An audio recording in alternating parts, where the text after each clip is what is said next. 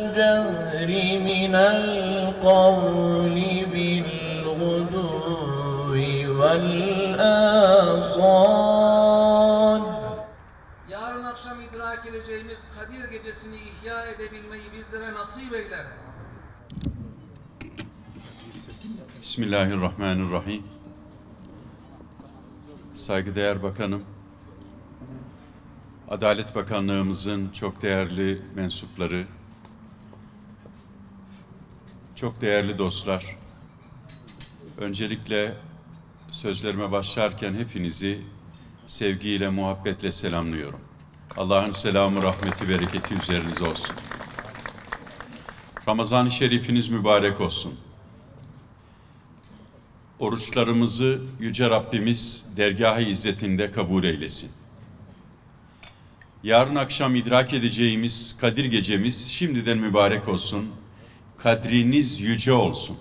İki gün önce İstanbul'da hepimizi ve bütün insanlığı can evinden vuran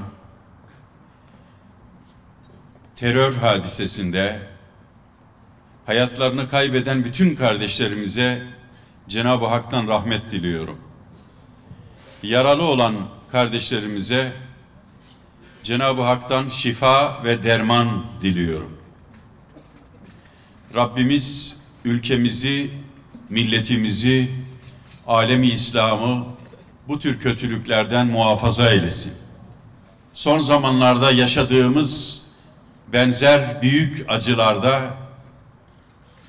sadece masum insanları kaybetmiyoruz. Sadece masum insanların canlarına kastedilmiyor. Aynı zamanda yeryüzüne şefkati, rahmeti, merhameti getiren yüce dinimize kastediliyor. Bugün bu coğrafyada İslam coğrafyasının kendi bağrından çıkarılan cinayet şebekeleri marifetiyle bizzat İslam dininin kendisi tehdit altındadır. Her Müslümanın, düşünen her insanın bunun farkında olmasını hasreten ifade etmek istiyorum. Biz öyle bir yüce dinin mensuplarıyız ki, bütün sözlerimizde ve ilişkilerimizde biz insanın düşmemesi için uğraşırız. Her birimiz başka insanların düşmemesi için çaba göstermek zorunda. Allah'ın yeryüzünde hiçbir kulu, Allah'ın onur bahşettiği hiçbir yaratığı, hiçbir insan düşmesin diye uğraşmamız lazım. Fakat diyelim ki insan düştü, bu sefer hepimizin onun elinden tutup kaldırmamız lazım. Aslında mahkum kardeşlerimiz bir şekilde düşen kardeşlerimiz. Bizim hep birlikte onların ellerinden tutarak ayağa kaldırmamız lazım. İşte bu birlikteliğimiz, birlikteliklerimizin en büyük manası budur. Çünkü özgürlük dediğimiz şey görecelidir. Zindanda Hazreti Yusuf mu özgürdür, yoksa sarayında Firavun mu özgürdür diye soracak olursam, herhalde cevabınız elbette zindanda Yusuf daha özgürdür. Çünkü asıl mahkumiyet insanın kendi nefsine mahkumiyetidir. Asıl mahkumiyet insanın kendi öfkesine, kendi kinine, kendi nefretine mahkum olmasıdır. Nice kardeşimiz sadece bir anlık öfkesine mahkum olduğu için düşmüştür. Oysa bizim yüce dinimiz bize, nefsimize, öfkemize, kalbimizi işgal eden kötülüklere mahkum olmamamızı bize öğretir. Ve asıl özgürlük de bu özgürlüktür. İslam ahlak filozofları özgürlüğü, hürriyeti üçe ayırırlar. ayırırlar. Birincisi cismani ve bedeni özgürlük. Cismani ve bedeni hürriyet. Buna göre hapishanede olan bu hürriyetini kaybediyor. Dışarıda olan bu hürriyetini özgürce kullanabiliyor. Özgürce istediği yere gidiyor, kalkıyor, oturuyor, her şeyi yapabiliyor.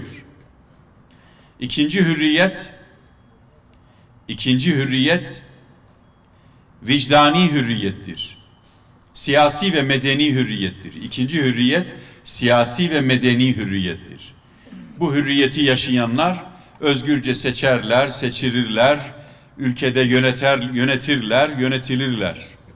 Ama üçüncü bir özgürlük var ki asıl büyük özgürlük odur. O da ahlaki ve vicdani özgürlüktür. Ahlaki ve vicdani hürriyettir.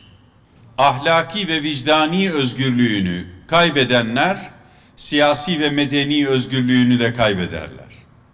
Yani bir anlık öfkesine mahkum olanlar başka özgürlüklerini de kaybederler. Siyasi ve medeni özgürlüğünü kaybedenler cismani ve bedeni özgürlüklerini de kaybederler. Rabbimizin bizden istediği öncelikle kalbimize özgürlük kazandırmak, yüreğimize özgürlük kazandırmak, yüreğimizi, kalbimizi her türlü işgalden kurtarmak. İşte bizim inancımız var. Namaz kılıyorsunuz, oruç tutuyorsunuz. Bunlar sizin kalbinizi işgallerden kurtarıyor, kalbinizi özgür kılıyor, her türlü kötülüğe mahkum olmaktan kurtarıyor.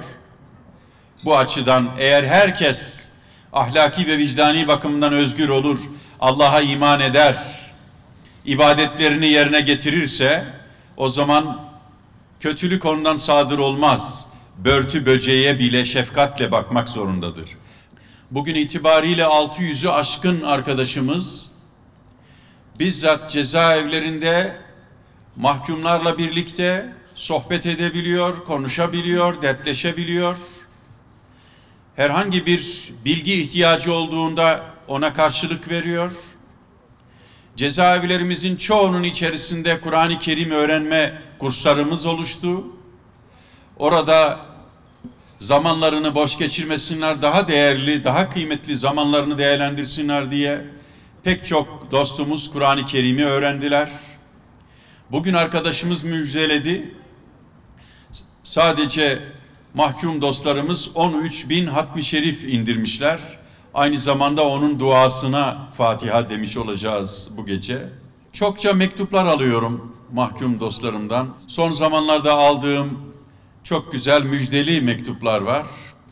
Aldığım müjdeli mektuplardan bazılarına göre cezaevlerinde zamanının büyük bir kısmını geçiren nice kardeşlerimiz hafız hafızlığı bitirdiler. Kur'an-ı Kerim'i baştan sona ezberlediler. Onu anlamaya çalışıyorlar. Bütün bunları birer müjde olarak kabul ediyorum. Elbette bütün ceza sistemlerinde suçun şahsiliği esastır. Bu şaşmaz bir adalet prensibidir. Fakat ister istemez bir aile reisi e, ceza aldığı zaman biz aynı zamanda eşine ve çocuklarına da dolaylı olarak cezalar vermiş oluyoruz. Bunu dikkate alarak pek çok yerde özellikle mahkum ailelerine yardımcı olabilmek için bir takım sivil toplum örgütleri kurulmuştur. Türkiye Diyanet Vakfımız zaman zaman bu vazifesini ifa etmeye çalışıyor ama sadece bu amaçla dahi babasını, annesini böyle bir yöntemle kaybetmiş, onun şefkatinden, merhametinden, eğitiminden yoksun kalmış çocuklarıyla ve aileleriyle ilgilenmek için hayır kuruluşlarımızın, sivil toplum örgütlerimizin onları yalnız bırakmaması gerekiyor. Baba suç işledi diye hiçbir evladına bizim ayrıca bir suçlu muamelesi yapmamız yüce dinimizin bize yasakladığı bir şeydir. Biz öyle bir inancın mensuplarıyız ki Rabbimiz kendisine şirk koşmanın dışındaki bütün günahları affedeceğini vaat etmiştir. İnna Allahe la yaghfiru en yushraka bih ve yaghfiru ma dun zalika limen yasha. Allah kendisine şirk koşulmasını affetmez. Onun dışında bütün günahları affeder. Yeter ki insanlar nasuh bir tevbe ile Rablerine yönelsinler ve bir daha o kötülüğü yapmasınlar. Allah sizleri ve çocuklarınızı bütün kötülüklerden muhafaza eylesin.